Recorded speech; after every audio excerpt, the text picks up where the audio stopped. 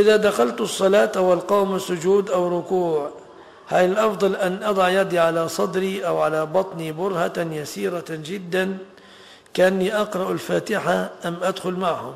لا كبر وادخل معهم لحديث ما أدركتم فصلوا وما فاتكم فأتموا.